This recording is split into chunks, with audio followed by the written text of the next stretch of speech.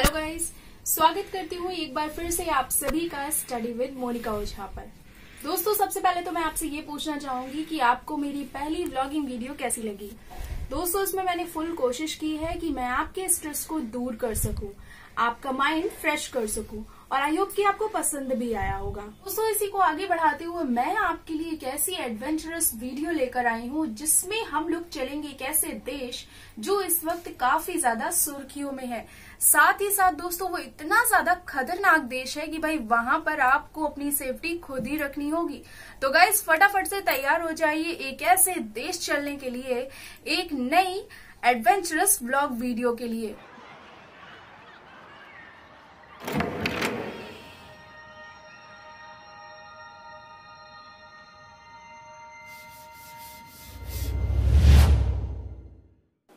तो दोस्तों आप सिर्फ़ फटाफट से अपनी पैकिंग कीजिए, क्योंकि हम लोग चलने वाले हैं रशिया। जी हाँ दोस्तों, हम लोग रूस चलने वाले हैं। अब हम लोगों को रूस जाना है। तो ज़ाहिर सी बात है, हम लोग रूस कैसे जाएँगे? बस, कार, साइकिल से तो हम रूस जाने वाले नहीं हैं। फाइनली हम लोग जाएँगे बाय प्लेन अब हम लोगों को प्लेन से जाने के लिए एयरपोर्ट तो जाना ही पड़ेगा। तो अब हम लोग चलते हैं न्यू दिल्ली क्योंकि न्यू दिल्ली से ही तो हम लोग जाएँगे रशिया।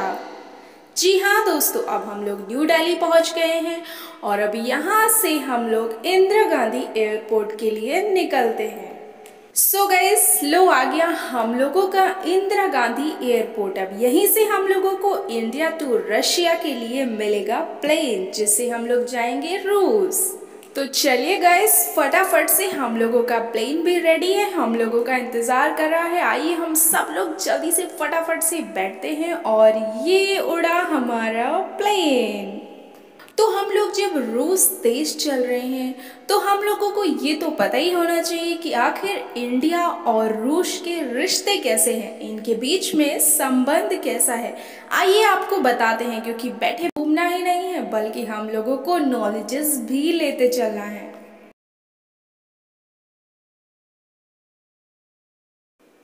दोस्तों, आप ये जान लीजिए कि जो रूस और भारत देश है, ये दोनों एक दूसरे के बहुत ही ज़्यादा घनिष्ठ मित्र हैं। यूँ कहें तो लंगोटिया यार हैं एक दूसरे के, क्योंकि रूस हमेशा भारत का समर्थन करता है, भारत का हर बुरे वक्त पे साथ देता है, और इसीलिए ये दोनों एक दूसरे के साथ हैं। तो दोस्तों, अब हम लोग बहुत ही जल्दी लैंड करने वाले हैं, और इसके लिए मैं बहुत ही ज़्यादा एक्साइटेड हूँ।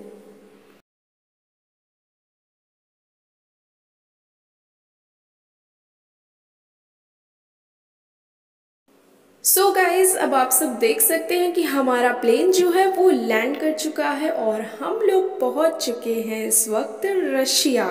जी हाँ दोस्तों, हम लोग रशिया पहुँच गए हैं। अब दोस्तों, हम लोग रूस पहुँच तो गए हैं।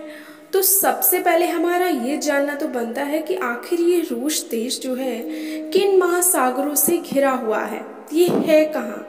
ठीक है तो दोस्तों मैं आपको बताती हूँ कि ये जो रशिया देश है, ये पूर्वी यूरोप और उत्तरी एशिया में फैला। उत्तर और पूर्व में आर्कटिक और प्रशांत महासागर से घिरा हुआ है। साथ ही दोस्तों, ये दुनिया का सबसे बड़ा देश है, जो विश्व का नौवा और सबसे अधिक आबादी वाला देश भी है। आपको, साथ ही दोस्तों, आपको ये भी बता दूँ कि ये जो रूस है, ये यूएन का स्थायी सदस्य है। अब आपको बताते हैं इसके क्षेत्रफल के बारे में। दोस्तों, रूस का जो क्षेत्रफल है, वो एक करोड़ इकहत्तर लाख पच्चीस हज़ार एक सौ इक्यानवे किलोमीटर दो से अधिक है। दोस्तों, पृथ्वी में बसे हुए भूमि क्षेत्र के एक आठवें से अधिक से मिलकर 11 समय क्षेत्रों तक फैली हुई है और इसमें छह संप्रभु देशों की सीमा है। सो so अब आपको आगे बताते हैं, आखिर इस देश की जनसंख्या कितनी है? दोस्तों, इस देश की जनसंख्या है एक मिलियन। अब हम लोग दोस्तों, रशिया आए हैं। तो रशिया की राजधानी क्या है, ये जानना तो बिल्कुल बनता है कि आखिर यहाँ की कैपिटल क्या है। क्योंकि कैपिटल नहीं देखी तो फिर क्या देखा? तो दोस्तों, आपको ये बताते हैं कि रूस की राजधानी जो है वो मास्को है। साथ ही दोस्तों, ये यूरोप का सबसे बड़ा शहर और देश का सबसे ज़्यादा सांस्कृतिक केंद्र भी है। दोस्तों, इस देश की करेंसी जो है वो रूबल है। जैसे आप देख सकते हैं सामने कि ये रूबल है, जो यहाँ की मुद्रा है। अब बात करते हैं यहाँ की भाषा के बारे में। दोस्तों, जो यहाँ की भाषा है, वो रूसी भाषा है और ये सबसे अधिक बोली जाने वाली स्लाव भाषा भी है। फ्रेंड्स अगर हम यहाँ की वेशभूषा की बात करें, यानी कि यहाँ के पहनावे के बारे में बात करें तो यहाँ का जो पहनावा है, वो शिराफन और पोनेवा है, जो यहाँ पे सबसे ज़्यादा पहना जाता है। इसके बाद आपको बताते हैं कि इस देश का राष्ट्रीय चिन्ह क्या है। दोस्तों, इस देश का राष्ट्रीय चिन्ह है डबल हेडेड ईगल इसके बाद आपको चलिए बताते हैं कि आखिर इस देश के राष्ट्रपति कौन है। दोस्तों, रूस के प्रेजेंट प्रेसिडेंट हैं व्लादिमीर पुतिन। इसके अलावा अगर हम बात करें रूस के सबसे पहले राष्ट्रपति कौन थे तो वो दोस्तों थे बोरिश येल्सिन, जिन्हें आप देख भी सकते हैं कि ये बोरिश येल्सिन है। दोस्तों, अब चलिए आपको ये बताते हैं कि आखिर इस देश में कौन सा धर्म है। इस देश में किस धर्म के लोग रहते हैं? फ्रेंड्स रूस में सबसे बड़ा धर्म जो है वो रूसी पारंपरिक ईसाई धर्म है, जिसकी आबादी इकहत्तर प्रतिशत तक है। चलिए दोस्तों, अब आपको आगे इस खूबसूरत देश जो है, रूस, इस देश की सीमा किन किन देशों से मिलती है, इसके बारे में आपको बताते हैं। रूस के साथ जिन देशों की सीमाएँ मिलती हैं उनके नाम हैं Norway, Finland, Estonia, Latvia, Lithuania, Poland, Belarus, Ukraine, Georgia, Azerbaijan, Kazakhstan, चीन, मंगोलिया और उत्तर कोरिया। दोस्तों, अब चलिए आपको बताते हैं रूस देश के बारे में कुछ खास रोचक बातें। दोस्तों, रूसी साम्राज्य के दिनों से रूस ने विश्व में अपना एक अलग स्थान, एक प्रमुख स्थान बोले तो शक्ति के रूप में बनाया है। प्रथम विश्व युद्ध के बाद सोवियत संघ विश्व का सबसे बड़ा साम्यवादी देश बन गया है। यहाँ के लेखकों ने साम्यवादी विचारधारा को विश्व भर में फैलाया है। वहीं द्वितीय विश्व युद्ध के बाद सोवियत संघ एक प्रमुख सामरिक और राजनीतिक शक्ति बनकर उभरा था। संयुक्त राज्य अमेरिका के साथ इसकी वर्षों तक प्रतिस्पर्धा भी चली थी, जिसमें सामरिक, आर्थिक, राजनीतिक और तकनीकी क्षेत्रों में एक दूसरे से आगे निकलने की होड़ थी। कई दशकों से ये आर्थिक रूप से छीड़ होता चला आ रहा था और इसके बाद इसका विघटन हो गया, जिसके फलस्वरूप रूस जो है वो सोवियत संघ का सबसे बड़ा राज्य बन गया। तो दोस्तों, चलिए अब आगे हम आपको बताने जा रहे हैं कि आखिर इस देश का राष्ट्रीय खेल क्या है। जी हाँ दोस्तों, इस खूबसूरत देश का राष्ट्रीय खेल है शतरंज और फुटबॉल, यहाँ के राष्ट्रीय खेल हैं। तो चलिए अब हम दोस्तों, हम लोग कहीं घूमने चलते हैं, क्योंकि अब हम लोग रशिया घूमने आए हैं। तो हम लोग यहाँ की फ़ेमस प्लेसेस तो घूम ही सकते हैं कि हम लोग यहाँ ये देखने चलते हैं कि यहाँ की आखिर कौन कौन सी कितनी मस्त मस्त जगह है जहाँ पर हम घूम सकते हैं। तो दोस्तों, चलिए चलते हैं। सबसे पहले हम लोग चलते हैं सेंट पीटर्सबर्ग जिसे आप सामने देख सकते हैं कि ये सेंट पीटर्सबर्ग है और ये रूस की सबसे खूबसूरत जगह भी है।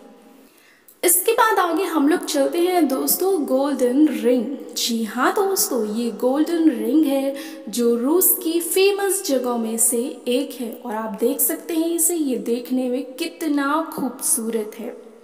इसके बाद हम लोग चलने वाले हैं कज़ान आप देख सकते हैं कि ये कज़ान है, और ये बेहद ही खूबसूरत जगह है।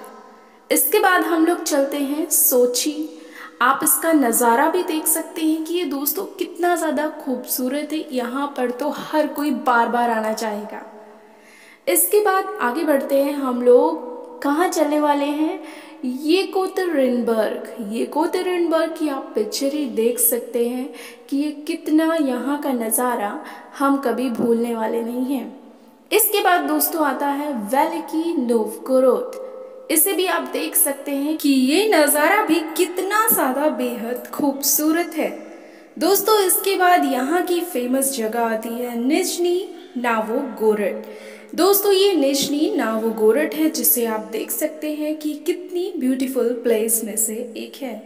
इसके बाद आता है इरकुटक्स, जिसे आप पिक्चर में सामने देख रहे हैं कि ये दोस्तों इरकुटक्स नाम का प्लेस है जो कि रशिया का फ़ेमस प्लेस है। इसके बाद हम दोस्तों चलने वाले हैं। जी हाँ दोस्तों, रशिया की राजधानी मास्को, जिसे आप सामने देख सकते हैं कि रशिया की राजधानी मास्को है। सो so गाइस अब हम सबने बहुत ही ज़्यादा घूम लिया और कैसा लगा आपको? यहाँ के ये सभी नज़ारे, है ना? एकदम मस्त। सो so, दोस्तों अब आपने घूम तो लिया ही है। तो हम लोग बहुत ही ज़्यादा थक गए। तो अब थक गए हैं तो हम लोग को बहुत ही तेज़ की भूख भी लगी हुई है। और जब भूख लगी हुई है तो हम लोगों को खाना खा ही लेना चाहिए। लेकिन उससे पहले हम लोगों को ये भी तो मैं आपको ये बता दूँ कि दोस्तों यहाँ का आखिर फेवरेट डिश क्या है? यहाँ का जो मुख्य भोजन है वो क्या है? दोस्तों, आपको मैं ये बता दूँ कि ये जो रूसी लोग हैं, वैसे तो ये सभी व्यंजनों को खाना पकाना इनकी परंपराओं में है। ये हर तरह के भोजन को खाना पसंद करते हैं। लेकिन साथ ही इनके कुछ जो व्यंजन हैं, वो कुछ विशिष्ट हैं। जैसे कि समोवर, वब्लेनी, कैवियर और शहद, चाय। ये सब इनमें खास डिशेज़ हैं जिन्हें ये खाना काफ़ी ज़्यादा पसंद करते हैं। तो दोस्तों, अब हम लोगों ने खाना भी खा लिया है तो आई होप कि मेरे हिसाब से अब हम लोगों को वापस अपने इंडिया वापस चलना चाहिए। तो गाइज़ तैयार क्या होना है? अब फटाफट से हम लोग बैठते हैं अपने प्लेन में और निकलते हैं हम लोग वापस अपने इंडिया सो so गाइस ये उड़ा हमारा प्लेन और हम लोग बहुत ही जल्द पहुँच जाएँगे वापस अपने देश, यानी कि India so guys bye bye Russia फिर से मिलते हैं। अब हम लोग जा रहे हैं वापस अपने इंडिया